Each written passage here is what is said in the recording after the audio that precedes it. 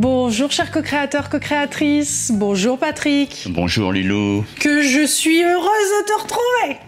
De même, de même, vraiment. Cette interview de la dernière fois a énormément plu. Merci pour vos partages, vos commentaires. Je sais que ça vous a touché.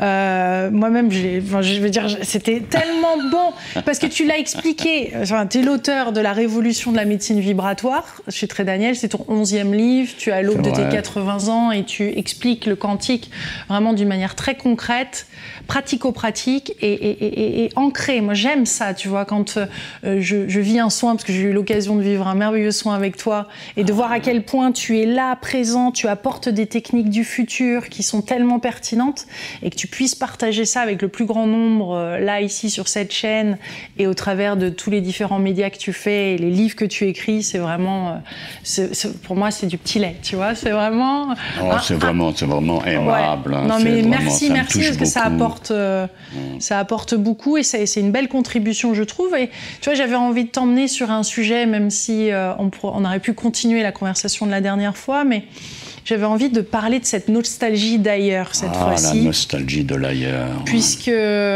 certaines personnes ressentent ça, cette idée du paradis perdu. Et après, on va voir jusqu'où ça va nous emmener, parce que je pense qu'on ouvre une belle porte euh, ah, de conscience quand on commence à parler de ce sujet-là. C'est une porte particulière. Hein. C'est bon. D'abord, d'abord, il y a une différence entre euh, des gens qui ont cette euh, cette nostalgie d'un ailleurs et puis des gens tristes. Hein.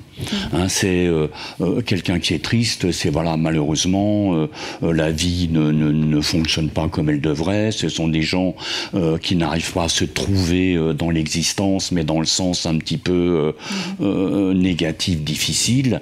Bon, puis il y a des gens qui sont qui sont tristes. Et puis il y a des gens qui ont une espèce de, de, de sensibilité, de, de vécu. qui est donc cette, ce, ce beau. Moi, je l'avais appelé euh, le syndrome du paradis perdu. Alors, comment j'en suis, euh, comment j'en suis arrivé là? En fait, euh, j'ai commencé cette seconde vie euh, à la fin des années 70, lorsque je vivais encore aux États-Unis. J'ai été un des, rares physiciens à m'intéresser au phénomène des vies antérieures. Alors, pourquoi? Alors, on m'a souvent posé la question, mais comment ça se fait? Eh bien, parce que j'ai euh, un troisième cycle sur la nature du temps en mécanique quantique. Et euh, donc, justement, à la fin des années 70, je rencontre un Gregory Paxson, psychanalyste à Chicago. Et parce que j'ai vécu à New York et à Chicago. Et euh, donc, euh, je, je suis fasciné par le fait qu'on puisse emmener les gens voyager dans le temps. Et Gregory Paxson me disait, le voyage dans le temps existe et la machine temporelle existe, elle existe entre nos deux oreilles. Et donc, j'ai vécu euh, cette, cette expérience, hein. j'ai ramené des choses de, mon passé qui m'ont vraiment euh, touché, ému, euh, bouleversé, et c'est vrai que ma vie a changé. Donc je décide de faire un une formation sur euh, l'expansion de la conscience, euh, euh, avec bien sûr le revécu intra-utérin, euh, les vies antérieures, et puis euh, des aspects bien sûr de la structure neuronale euh, de l'individu. Alors j'ai eu beaucoup de chance. J'ai fait partie d'une association qui s'appelle Association for Past Life Therapy and Research, association de recherche et de thérapie sur les vies antérieures à Riverside en Californie. Mais au début des années 80, il y avait déjà 800 membres, dont 400 euh, médecins, psychanalystes, euh, psychologues et euh, psychiatres. Donc je suis tombé dans un milieu de, de, gens qui étaient passionnants, euh, qui étaient structurés, et puis aussi des chercheurs sur cette dimension inconnue euh, chez l'être humain. Est-ce que nous avons existé avant? Alors je passe sur les, les, détails et le temps qui passe. Donc euh, j'ai acquis euh, une, une, bah, une, petite dextérité euh, mmh. dans le pilotage Passionnant. De, de, de l'expansion de conscience. Alors c'est vrai que bon, j'en fais plus beaucoup maintenant parce que je suis aussi passé à autre chose, mais j'ai dû faire environ 12 000 séances de, de régression sur les vies antérieures. Donc c'est vrai que j'ai non seulement travaillé avec des occidentaux, mais quand tu travailles avec, euh, par exemple, euh, des, des, Polynésiens, euh, des Indiens d'Amazonie, euh, des gens dont euh, le, côté karmique, vie antérieure, n'existe pas dans ces cultures. Et ce sont des gens qui vont ramener à la conscience des événements qui ne se situent pas dans le présent. Et dans un certain nombre de cas, ils vont solutionner des problèmes qu'ils n'arrivaient pas à solutionner autrement. Bref. C'est un peu notre Dolores Cannon euh, française. Hein ah, écoute, hein, écoute. Elle a non, mais c'est quand même énormément d'informations que tu as reçues, je ah, suppose, à travers ces, 12 000 séances. Mais, bien sûr, mais bien sûr, bien sûr. Ça a été, euh, c'était, c'était, c'était passionnant.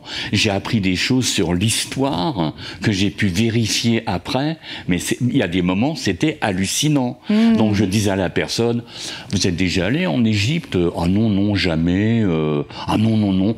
Mais alors vraiment, euh, j'ai une passion pour l'Égypte et j'aimerais bien y aller un jour. Et la personne va décrire, par exemple, un, rituel particulier en Égypte ancienne. Oui.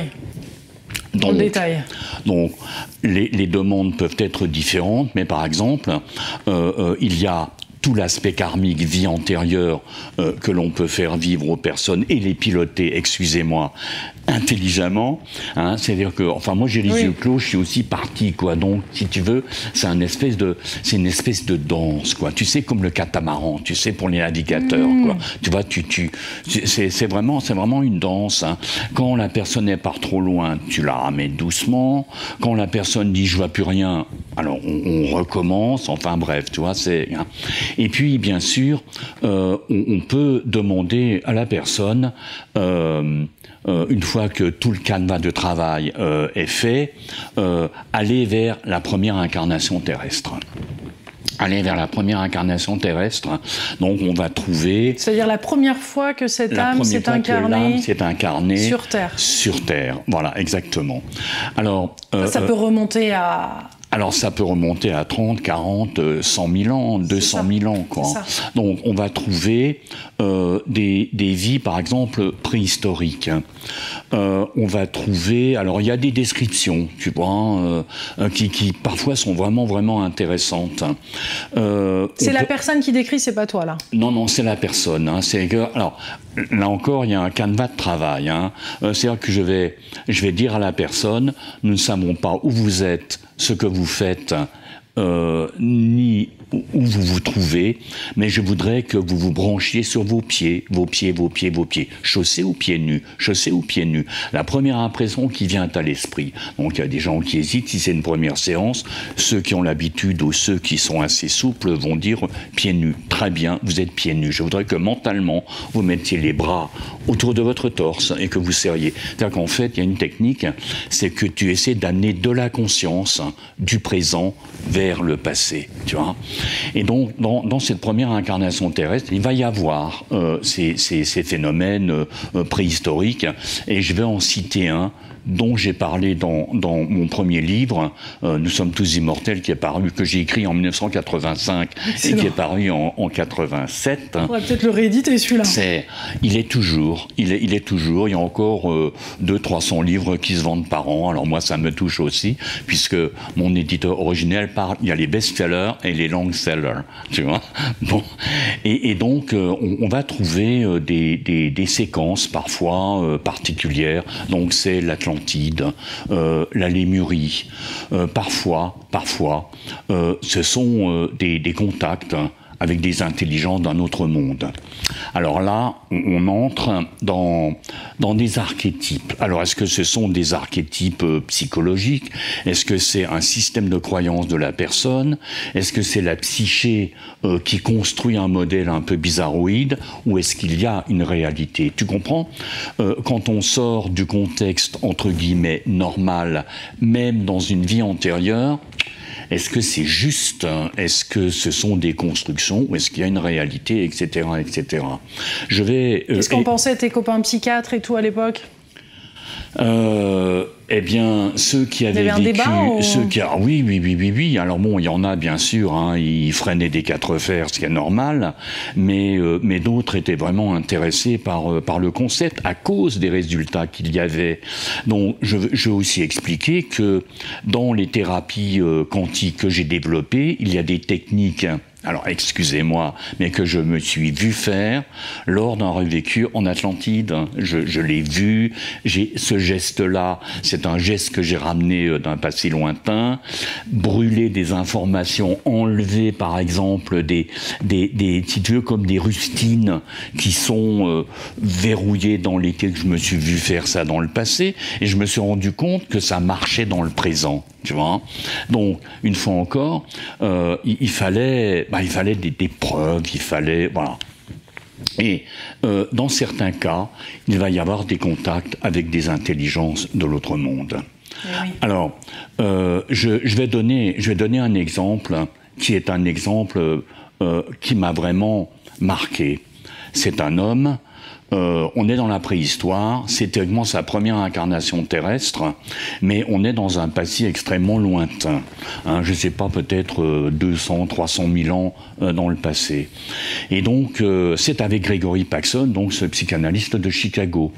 Et donc, l'homme se, décrit en train de touiller de l'espèce d'herbe, comme un, un, herboriste, si tu veux, un peu originel. Et donc, il est dans une, il marche dans une dans une prairie, euh, un peu de l'herbe haute, et euh, euh, en pleine préhistoire terrestre, il décrit un ovni. Donc Gregory Paxson, il est interpellé, l'homme tombe à genoux et dit The gods arrive, the gods are here. Hein? Donc les dieux sont là, les dieux reviennent. Et il y a cet engin en pleine préhistoire terrestre. L'homme marche vers euh, bon, cet engin. Il gravit trois. Alors il décrit, hein, il prend, il, monte trois marches et c'est de la lumière molle. Et il arrive devant euh, l'entrée du vaisseau. Gregory Paxson lui dit. Euh, vous allez entrer. Et l'autre dit I can't, hein, je, je peux pas quoi. Et là, il prend une voix d'hypnotiseur parce que bon, si vous voulez, les psy américains sont aussi des hypnothérapeutes. Et donc, il va dire At my command, tu vois tu vas rentrer là-dedans. Et l'homme, il a, il a un mal de tête, un mal de tête terrible, et il dit headache, headache, stop it, stop it, arrêtez, arrêtez.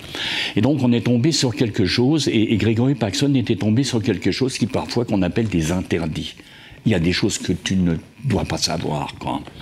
Les années passent, cinq à six ans plus tard, euh, lors d'un travail, l'homme revit la même séquence il marche dans une savane, un peu, enfin une campagne avec des herbes hautes, et il voit l'OVNI, quoi. Hein. Donc il, il arrive, et c'était avant Stargate. Hein. Tu te rappelles du film Stargate? Tu sais, où il y a le, le cercle, ça fait comme ça, et passe, il passe de l'autre côté, quoi. Et là, en fait, si tu veux, il passe à l'intérieur, et il décrit euh, trois êtres un peu diaphanes. Et donc, il sent, il sent une espèce d'angoisse euh, primitive monter, tu sais, comme un début de folie, et il entend dans sa tête, arrêtez, arrêtez, il n'est pas prêt. Tu vois il y a eu tout un travail, si tu veux, que cet homme a fait, et donc, euh, parce qu'il a parlé avec des ufologues, en fait, euh, il a essayé d'expliquer que la coque euh, du vaisseau, c'était pas quelque chose de fabriqué, c'était une extension de la conscience de ces intelligences, quoi. Hein. Mm. Et donc on a, et parfois il y a, il y a des choses tout à fait, tout à fait particulières euh, que l'on peut vivre. Des interdits, des erreurs de programme aussi, de programmation existent. Alors ça peut aussi, ça peut aussi, quoi. Hein. Mais, mais donc si tu veux, ensuite, euh, ben, on peut, on peut pousser encore un petit peu plus loin le bouchon et puis dire à la personne, vous allez aller à avant votre première incarnation terrestre. Alors, il faut, il faut qu'il y ait un petit peu de, on va dire un petit peu de bouteille. On peut pas emmener quelqu'un comme ça dès la première fois, dès la deuxième fois. Alors, je dis pas que c'est un travail sur 20 ou 30 séances, mais il faut quand même, voilà, un petit peu, quoi. Hein. Et donc, euh, les gens, certaines personnes euh, ont, décrit des choses bizarres. Par exemple, euh, quelqu'un, quelqu'un me dit, je ne, je ne peux pas parler, votre fréquence est trop basse. D'accord? Ça fait toujours plaisir, tu vois? Ou alors, euh, identifiez-vous. Euh, d'accord Identifiez-vous. T'as un petit nom euh, dans l'invisible? Voilà, tu vois, identifiez-vous. Hein. Et donc, si tu veux, dans, dans certains cas, des, des, des, des, enfin, des consciences vont arriver devant des intelligences qu'ils appellent the dwellers of time, les, ah les, les, les, veilleurs, enfin, enfin moi j'ai traduit les veilleurs du temps. Et donc, euh, c'est eux qui vont dire il faut que tu t'incarnes.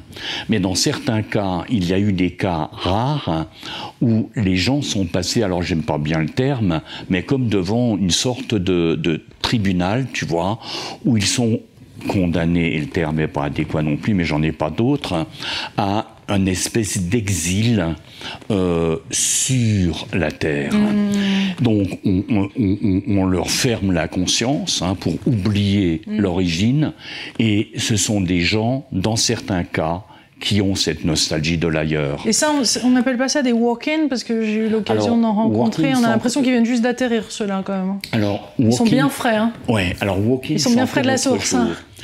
Walk-in, euh, c'est un, c'est la première qui en a parlé dans les années 70. Hein, c'est une américaine qui s'appelle Ruth Montgomery. Et Ruth Montgomery, elle a, elle a donc écrit un livre qui s'appelle Walk-ins. Alors, voilà, pour, pour expliquer brièvement le, concept de walk-in, par exemple... Walk-in, c'est comme dans un restaurant où, euh, quand tu es walk-in, c'est que tu n'as pas de réservation et tu arrives et on te trouve euh, une place euh, assise dans le restaurant. Donc un walk-in, c'est un terme intéressant parce que ça veut dire que c'est des personnes qui n'ont pas forcément réservé leur place sur Terre et qu'ils arrivent et hop, ils atterrissent dans un corps. Non, mais c'est... J'ai eu l'occasion d'en interviewer un, c'est quand même costaud. Hein. Oui, oui, oui. Alors, parce que là, tu peux poser toutes les questions que tu veux. Hein. Oui, oui. Alors là aussi, il y a des moments, moi je suis un peu hésitant, mais il y a des moments, c'est vrai. C'est rare. Mais oui, c'est rare. Par exemple, c'est quelqu'un dont la vie est brisée. Par exemple, quelqu'un euh, euh, quelqu'un est en cancer terminal. Il agonise à moitié sur un lit d'hôpital. Euh, il est encore jeune, par exemple, il a 40 ans. Et donc, il y a une intelligence qui va venir, qui lui dit, écoute, si tu veux, nous, on peut t'extraire de cette structure, de ce corps, et puis tu vas aller dans un monde de lumière où tu vas continuer ton évolution. Et moi, ou, quelqu'un d'autre, hein, enfin un copain, on va dire une copine. On a le corps. On va, voilà, tu vois on va, et tout à coup, la personne va guérir en deux, trois semaines. C'est-à-dire qu'il y a une, une rémission, guérison complètement anormalement oui, rapide. parce qu'en plus, ils se souviennent, et moi c'était le cas dans cette interview à, l'extérieur de Las Vegas, c'est qu'il se souvenait, William Linville, de tout ce qu'il avait vécu, euh, euh, euh, c'est-à-dire comment il a reconstitué son corps, comment il a régénéré les organes. Il était ah capable de tout décrire et il était en train de le faire et de nous l'expliquer et de faire vivre un soin à tout le monde pendant l'interview. Et donc c'était multidimensionnel. C'est là où vraiment le, le côté multidimensionnel de l'être, tu t'en rends compte et tu le ressens parce que euh, et il expliquait comment il parlait à ses cellules, comment il parlait à son corps, comment il avait tout euh, et comment tout ça euh, fonctionnait pour juste repartir parce que le corps qu'il avait intégré faisait 200 pounds ou un truc juste ah 200 kilos je crois même. et donc il avait le, cœur le cœur avait lâché quoi. Oui, ou alors des gens, par exemple, qui sont euh, en dépression nerveuse profonde, qui ont fait deux, trois tentatives de suicide, quelqu'un qui avait une entreprise qui a tout perdu, euh, euh, sa femme est partie, ou son compagnon est parti, bref. Donc ça, c'est des cas Quelqu'un qui, qui, devient un clochard, par exemple. Et il est au bord de la route, il est devenu alcoolique, hein, c'est un cas hein, que, que j'ai eu. il est alcoolique, et bien sûr, il a plus de boulot, il peut plus travailler, etc. Et machin et, un, tac sur une route déserte, euh, il y a une lumière qui apparaît et qui lui dit écoute, voilà. Euh, euh, tu peux passer à un autre stade d'existence si tu veux. Bon, là, on a un petit peu dérivé avec les walk-ins, mais c'est quand même un sujet croustillant, il nous fallait un petit peu en parler parce que quand même. Donc, cette, cette conscience donc, va passer devant bah, une source lumineuse, hein, des, des, des, des, veilleurs du temps, mhm. et donc euh, vont on va dire écoute, voilà, tu vas, tu vas descendre en incarnation, et donc tu vas, tu vas apporter euh, quelque chose de particulier euh, que tu as en toi. Alors, il y en a qui ont une, relative préscience hein, de, ça, qui vont faire un travail particulier. Ça peut être des scientifiques, des économistes, des thérapeutes, des médecins, euh, une institutrice euh, euh, qui a vraiment une, dimension particulière pour enseigner aux enfants, un prof par exemple. J'ai un ami, il, est professeur de mécanique quantique. il explique la cristallographie quantique à partir de l'Atlantide. Donc les étudiants disent Oh monsieur, l'Atlantide, ah ouais, vous connaissez Et donc les, les étudiants sont interpellés. Quoi. Le gars, il a une dimension particulière. je l'interview quand même. Mais oui, mais oui, ça existe, tu vois. Et donc, euh, si tu veux, euh, mais il y en a qui vont conserver cette, cette nostalgie euh, d'un ailleurs. Donc, là, on va dire, la, la supposition, mais qui, qui, tient la route, c'est, ce sont des gens dont la, la, mémoire, elle est, elle est partiellement ou quasi totalement fermée, parce que si la mémoire était plus ouverte, hein, il y a un danger, c'est que ce sont des gens qui pourraient, bah, comme on dit maintenant, péter un plomb, quoi, tu vois, euh, ou alors des gens qui rentrent dans des délires, euh, si tu veux, un peu spirituels.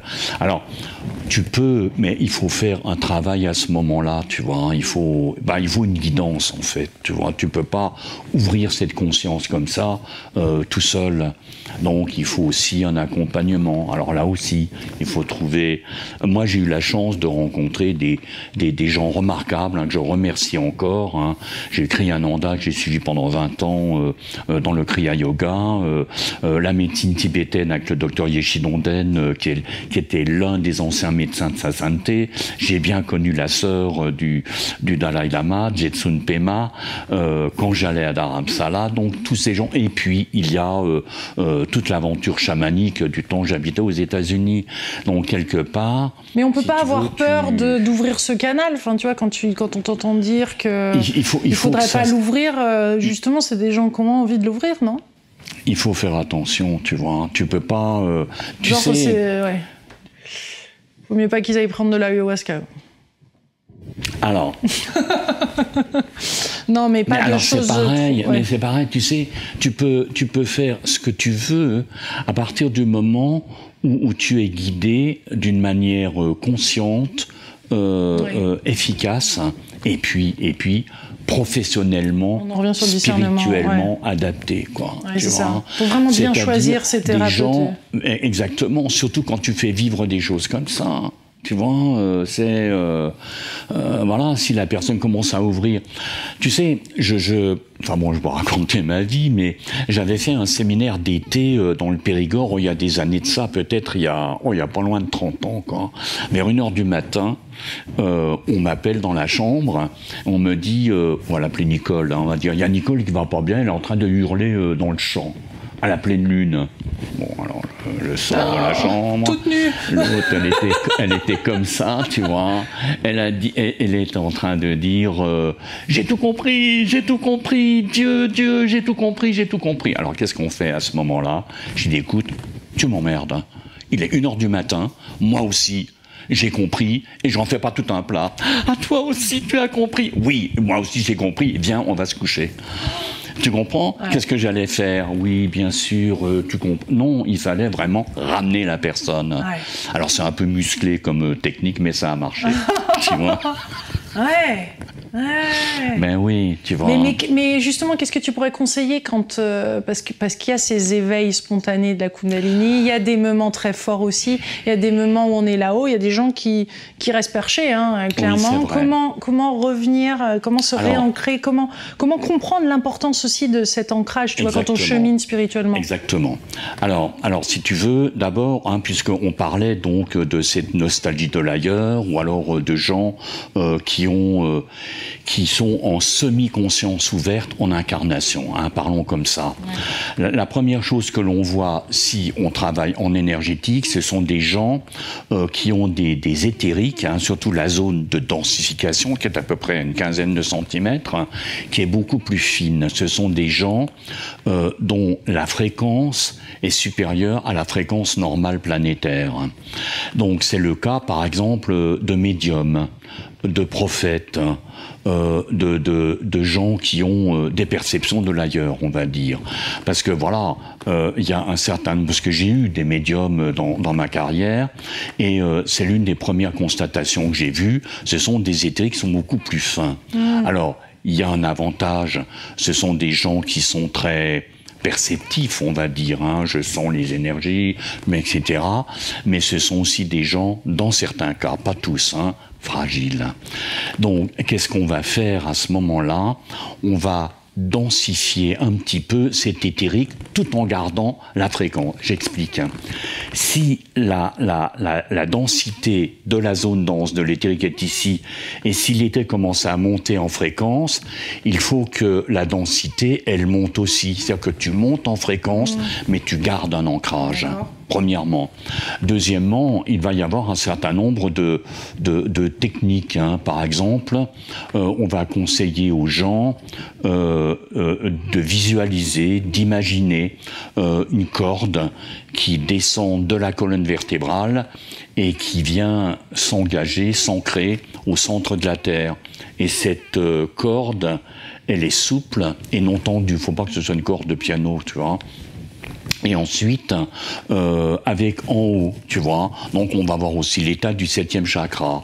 Si c'est un, si un chakra, enfin, bah, il y a des gens, si vous me permettez l'expression, qui sont des maisons sans toit. Ah oui, oui, je vois tout Donc à fait. là, il n'y a rien, quoi. Donc il faut, il faut fermer un petit peu le, le, chakra. Donc on va donner des conseils qui sont très logiques. On va dire à la personne, si vous êtes euh, végétarien ou végétarienne, essayez de manger un tout petit peu de viande, essayez de manger un petit peu de poulet, par exemple. Hein, pour, il, faut, il faut que vous puissiez vous, vous densifier un petit peu.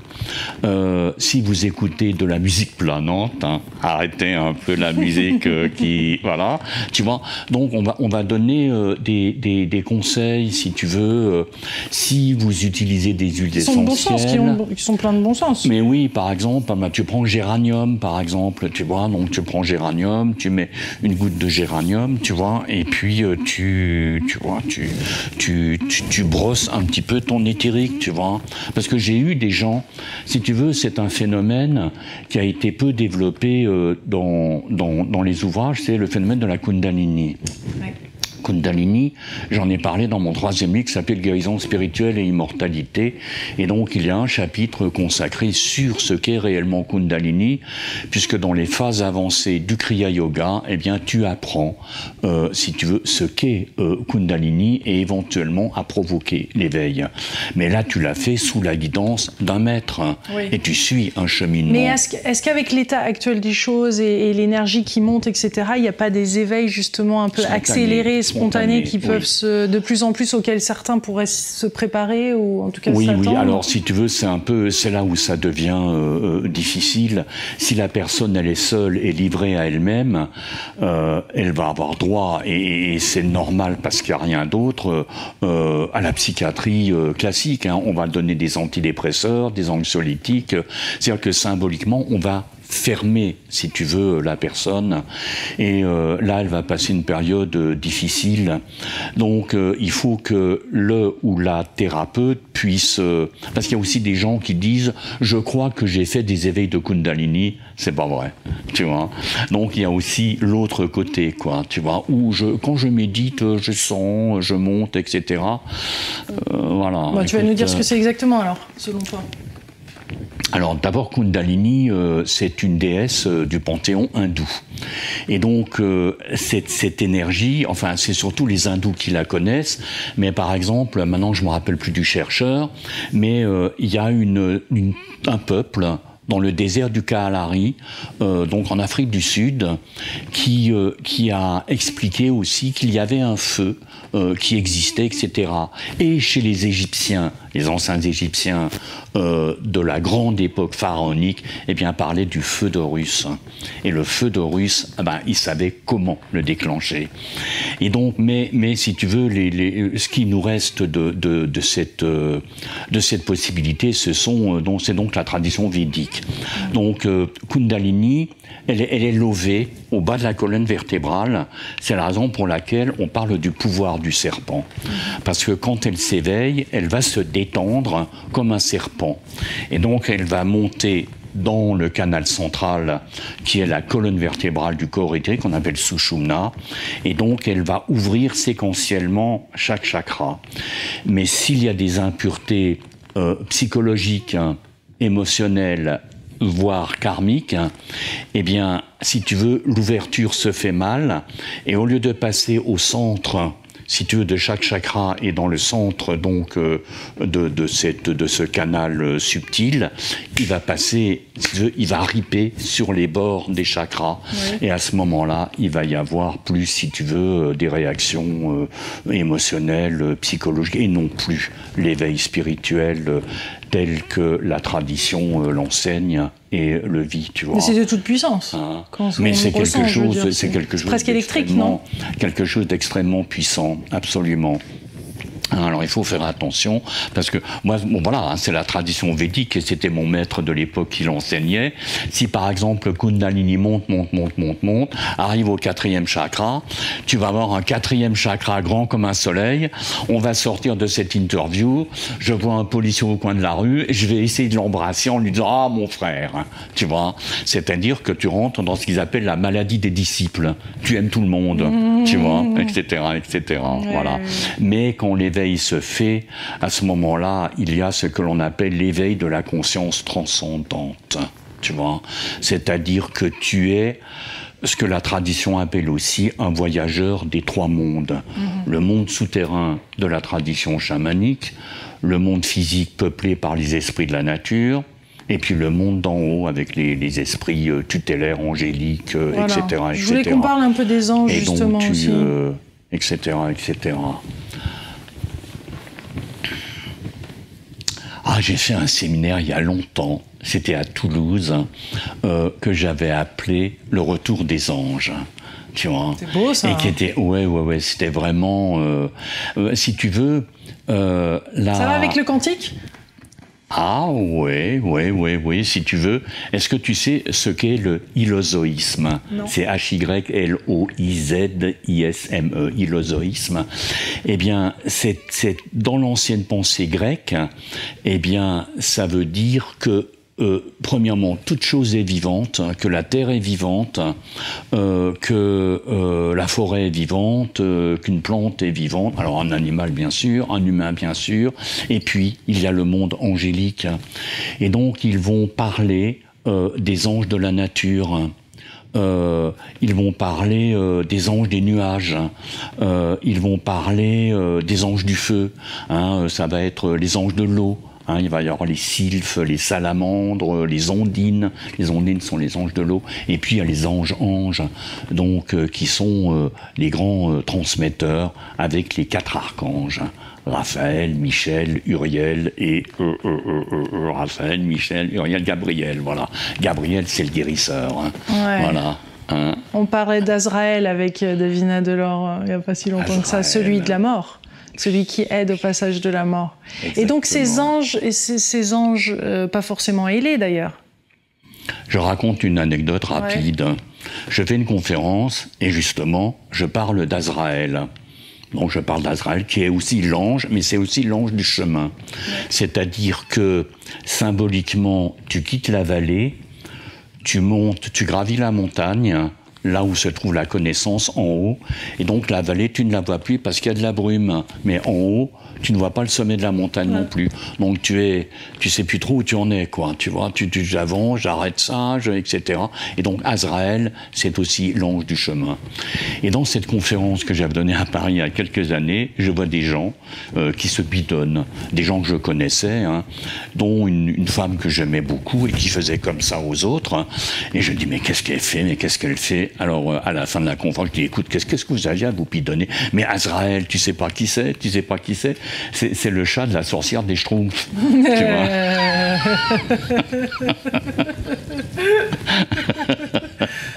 voilà, tu vois.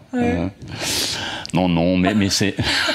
On s'amuse bien dans tes stages, tes conférences. Oui, oui, oui, oui, oui, Tu sais, pour, pour parler d'ange, hein, si je.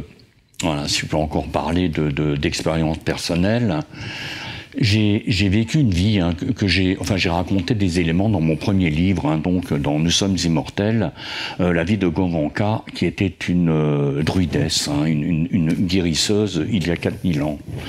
Et euh, c'est vrai que Govanka, c'est elle qui a bouleversé ma vie. Ça a été quelque chose de tellement, tellement intense hein, que c'était réel. C'était j'étais cette femme. Elle était un peu forte, elle était un peu, voilà, etc. Et donc, Grégory Paxson, toujours, qui a quand même, elle est un de mes maîtres, hein, euh, euh, dit aller vers l'événement le plus important de cette vie. Et donc, il y a une initiation, et il y a un être de lumière qui apparaît, un guide. Et donc, moi, je commence à avoir des soubresauts, tu vois, comme ça. Mais elle, dans son, dans son présent, hein, euh, donc la, femme de mon passé, en fait, elle est comme en adoration, quoi. Et donc, elle lui fait passer, euh, il, lui fait passer des enseignements. Et donc, euh, je, donne une technique. Hein. Euh, à un moment donné, Grégory Paxson dit Est-ce que vous pouvez donner quelque chose à Patrick dans son présent pour le travail de recherche sur les vies antérieures? Et donc, donc l'intelligence dit il faut qu'il utilise un cercle de lumière bleu nuit à l'entrée du tunnel temporel hein, pour projeter les gens dans le passé. Donc j'utilise euh, donc cette technique après et j'ai des résultats qui étaient nettement meilleurs. Deux ans plus tard, euh, je suis toujours le Kriya Yoga, j'étais en plein dans l'enseignement. Les chakras, on travaille beaucoup dessus, à quoi ça sert, comment c'est fait, comment on travaille dessus. Et ensuite, il y a les tatouas, qui sont les devas formateurs, c'est-à-dire les cinq énergies fondamentales qui ont créé l'univers physique. Et euh, euh, donc, j'apprends que le premier tatouage qui est sorti de la bouche de Brahma s'appelle Akasha Tatua, les annales akashiques. Il est représenté, c'est quoi son symbole? Un cercle de lumière bleu nuit. C'est-à-dire qu'en fait, lorsque je faisais voyager les gens dans leur passé, je les faisais voyager à travers leurs annales akashiques, qui en fait, c'est l'activateur du chakra de la gorge. Donc, il y a cette, cette chose. Et pendant quelques temps, j'ai un contact avec cette intelligence euh, qui s'appelait Veda. Et Veda disparaît. Alors je suis un peu triste parce qu'il n'est plus là, il n'y a plus personne, etc. Et tout quoi. Et euh, lors d'un travail, peut-être 6-8 euh, ans plus tard, je, sens une lumière qui apparaît et je lui dis, mais tu, tu, es revenu, mais, mais qu'es-tu devenu? Alors je pose la question mentalement, et je m'entends dire, mais tu es devenu un ange. Et il me dit, c'est ainsi euh, que les traditions euh, de la terre nous appellent. Et donc j'entends une voix, mais vraiment, c'est impossible à décrire pour moi, euh, qui dit, il y a longtemps, vous étiez semblable à nous, et dans bien longtemps, vous redeviendrez semblable à nous. Mmh. Tu vois? Ouais. C'est. des moments inoubliables, C'est vrai, c'est vrai, c'est vrai, c'est vrai. Tu ressens ça? Ouais, c'est, ça fait partie de mon ADN, quoi. Hein. Ça fait partie de ma, de ma chair, quoi. Hein. C'est, tu vois, je, je, je sais pas. Hein. Et puis en même temps, si tu veux, on a eu, euh, ma femme et moi, euh, on, a eu à cœur d'avoir une vie normale. Moi, je suis alsacien, eh bien, j'aime bien boire du vin blanc, voilà, tu vois. Et euh, on a eu des enfants, on a des petits-enfants, tout ça, c'est, ils ont des belles situations, ils marchent bien. Tu comprends, c'est important, quoi. Si tu as une conscience spirituelle, tu dois aussi avoir une conscience matérielle, incarnée, tu vois. Et puis aussi faire quelque chose qui s'appelle le bien. Il y a une devise que les Templiers avaient Non nobis domine, non nobis per gloriam tuam. Non pour nous, Seigneur, non pour nous, mais pour ta gloire. Que disent les Tibétains Non seulement pour moi, mais pour le bien de tous les êtres. Mm. Tu vois?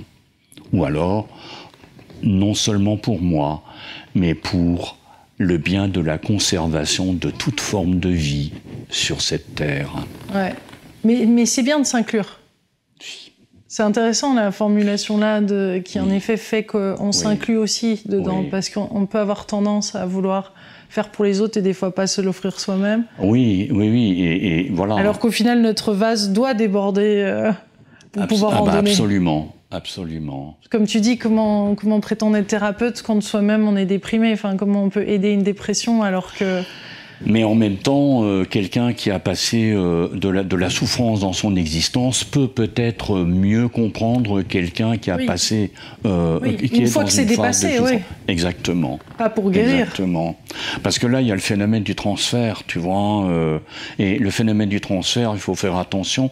C'est pas, c'est pas parce que je suis passionné par l'Égypte que tout à coup je ne vais avoir que des, des Égyptiens dans, dans des séances où ah, je vois l'Égypte en vous, etc. Non.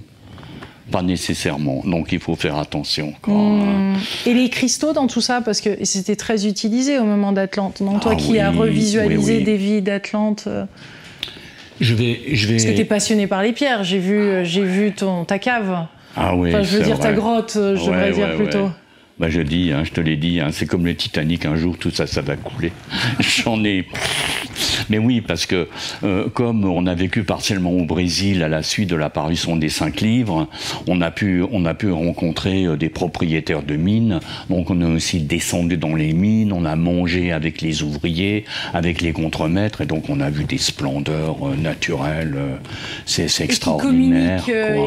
Et qui, t'ont communiqué des choses, ces pierres-là, je veux dire, elles sont vivantes, elles oui, oui, oui, oui, oui, oui, Elle t'aide dans les soins, elle. Euh, Alors, je vais, je vais, écoute. Elles aidaient les Atlantes, c'était une vraie source d'énergie, même pour euh, se déplacer. On va, faire euh, deux minutes de, physique. Hein.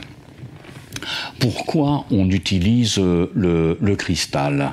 Alors d'abord, il faut savoir que dans le monde minéral, il y a sept familles euh, de, cristaux hein, selon leur configuration euh, euh, atomique.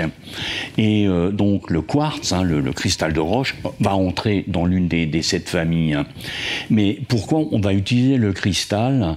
Parce que le, cristal a le degré anthropique, je vais expliquer rapidement ce que c'est, le plus faible de l'univers. Le degré anthropique, c'est le degré de désordre. C'est-à-dire que un cristal, c'est une structure parfaitement ordonnée. Tu vois Et donc, on va transférer l'information de, l'ordre ou de la structure ordonnée du cristal vers une structure qui ne l'est pas, c'est-à-dire euh, un homme, une femme, euh, euh, tu vois, enfin une structure humaine, quoi. Tu vois Ça, c'est la première chose. Donc il y a une technique hein, que j'ai souvent expliquée, ça appartient encore à, la mécanique quantique. Euh, il y a une particule particulière qui est le photon. Le photon, c'est donc la particule de la lumière. Hein. La lumière, c'est aussi bien une onde qu'une particule. C'est ce qui fait un peu euh, euh, la bizarrerie du bestiaire quantique. Et donc, si tu veux, le, photon, bah, il y en a, voilà, il y en a, il y en a dans l'atmosphère, mais il y a aussi euh, des électrons qui se baladent dans l'atmosphère, pas seulement euh, dans, le fil électrique euh, hein, qui, est, voilà, qui est, qui, est, dans le mur, il y a des électrons qui se baladent. Comment on le sait? À travers un détecteur qui est, qui est ultra simple, une boussole.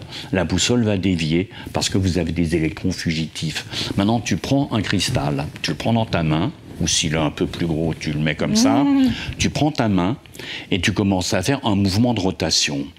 Donc tout ce qui oscille dans l'univers génère un champ électromagnétique.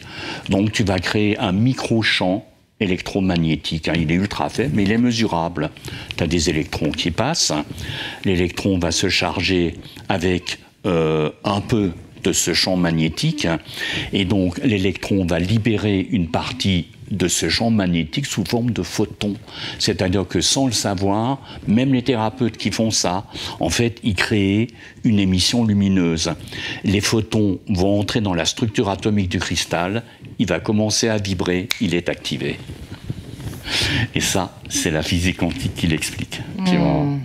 Et quand il est activé, alors ce qu'il ce qu'il Ah, émet bah, est variable selon les, pierres alors, et les, voilà, les ça familles, dépend, etc. Voilà, ça dépend euh, des familles, bah, bien sûr. hein. si tu prends, euh, je sais pas, hein, une topaze bleue, si tu prends une tourmaline, euh, euh, si tu prends une citrine qui est, qui est quelque chose de très solaire, euh, euh, la topaze bleue, le bleu, il est pacifiant, anesthésiant, il est calmant, etc. Donc quelqu'un qui Parce que est- tu l'utilises dans les Hein? soins, je t'ai vu faire. euh, Ah oui, oui, oui, C'est comme si tu ouvrais d'ailleurs le corps énergétique Ah éthérique oui, mais pour tu, tu travailler. fais de, tu fais de la chirurgie, tu ça, la ouvres, chirurgie, tu hein. ah ouais, ouais, ouais, tu fais, euh, tu fais des belles choses. Alors on a aussi créé des, des mandalas.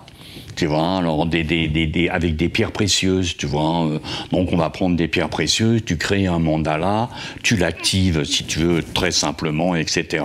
Et tu vas dire à la personne, vous allez penser que vous respirez euh, l'énergie de ce mandat-là à travers votre cœur. Donc tu vas passer à travers le cerveau cardiaque, tu mets la personne en cohérence cardiaque et la radiation cardio-électromagnétique va se, va se disperser autour de la personne. Quoi, tu vois Donc il y a plein plein de techniques comme ça, mais il fallait trouver un début d'explication. Pourquoi ceci? Pourquoi cela? Machin. Comment je peux expliquer tout ça? Oh ben c'est bien, ça marche. Oui d'accord, mais pourquoi ça marche? Tu vois euh, Ouais. parce que donc, euh, si tu veux, quand tu comprends ce que tu fais, tu vas encore plus loin. Mais oui. Non seulement pour toi, mais pour le bien de tous les êtres. Ouais, ouais, ouais. Et, et- et- et c'est vrai que des, des fois dans les thérapeutes, il y a un peu d'improvisation et c'est bien d'utiliser son intuition et Oui, c'est oui, bien oui, de se rappeler, etc. absolument. Mais il faut aussi des, des bases euh, qui soient bien solides. Utiliser son intuition, oui, complètement. Faire du n'importe quoi, non. Ouais. Et que ça peut faire des dégâts. Mais il faut faire attention. Alors je, je dis, hein, par exemple, parfois les gens disent, euh, alors euh, moi ça m'intéresse, euh, euh, oh, les vies antérieures, j'aimerais bien expérimenter. Alors je dis, écoutez, euh, je sais pas, euh, hein, quelqu'un qui habite dans un endroit perdu, euh, dire, oh, bah oui, mais alors, euh, mais alors trouvez quelqu'un, voyez si la personne a écrit un livre, euh, voyez si, euh, bah maintenant avec YouTube et les réseaux sociaux et la télé de Lilou, voilà, On peut hein, on peut dire euh, bon, euh, elle, elle me branche, oh là là, oh non, je comprends pas trop ce qu'elle fait, euh, etc. Tu vois. Hein, Bah, ça aide de voir la les- personne, Les, gens, vrai. les gens peuvent, euh, les gens peuvent se, se, se faire une opinion, tu vois. mais, mais voilà, quoi. hein. Mm. Il faut. Tu sais, c'est. C'est un parcours, quoi. C'est une réflexion sur soi. euh, et je crois qu'il faut d'abord faire le parcours sur soi avant de le proposer aux autres, quoi. Mais ça, c'est peut-être euh, le restant de mon passé universitaire, tu vois. euh, tu, je sais pas, tu apprends, quoi. Tu apprends, t'es confronté, tu dis, mince, ça, ça marche pas. Pourquoi ça marche pas? Est-ce que j'ai fait fausse route? Non, là, c'est pas bon. euh, T'affines et tu continues aussi d'apprendre. absolument, absolument. Merci pour ce magnifique moment, Patrick. Voilà, J'adore. ouais, ouais, C'est ouais. parti dans de hautes sphères. Ouais, Génial. ouais, ouais, ouais, ouais.